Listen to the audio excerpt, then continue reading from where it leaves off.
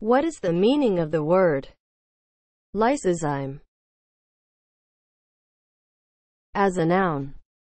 An enzyme found in saliva and sweat and tears that destroys the cell walls of certain bacteria.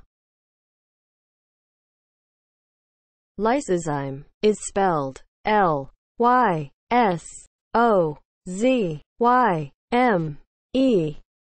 Lysozyme